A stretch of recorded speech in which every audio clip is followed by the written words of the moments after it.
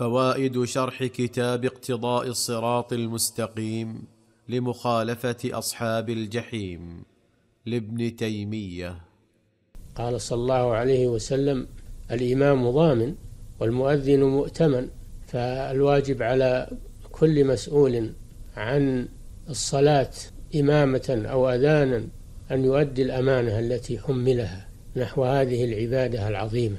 فالمؤذن يراعي الوقت ولا يتقدم عليه ولا يتأخر لا يتقدم عن بدايته ولا يتأخر عن بدايته بل يؤذن على أول دخول الوقت لأنه مؤتمن على الوقت. والإمام ضامن للمصلين قال صلى الله عليه وسلم يصلون يصلون يصلون بكم أو يصلون لكم فإن أحسنوا فلكم ولهم. وإن أساءوا فلكم وعليهم فهو ضامن يتحمل صلاة من خلفه.